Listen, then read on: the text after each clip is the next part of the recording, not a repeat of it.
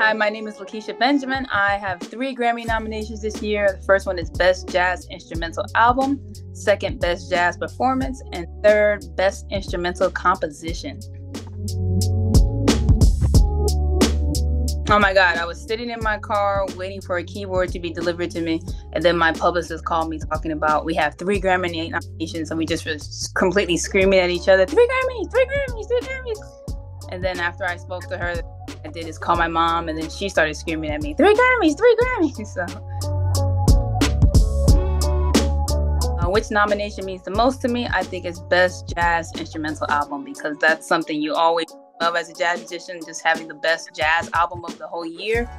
And also in that category, they predominantly nominate men. So the fact that I would be the only second woman to have ever received that. The first one is actually Terri Lyne Carrington, which is uh, my album producer. So that's cool. So it'd be great to be kind of stamped in history like that and let other women out there know that representation matters.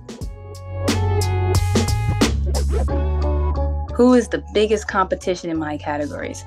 I'm gonna go with John Williams because why not? My, my man has been making hits forever.